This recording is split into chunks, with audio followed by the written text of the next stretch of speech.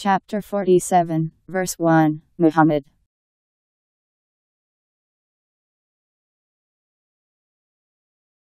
Those who disbelieve and turn men from the way of Allah, He rendereth their actions vain.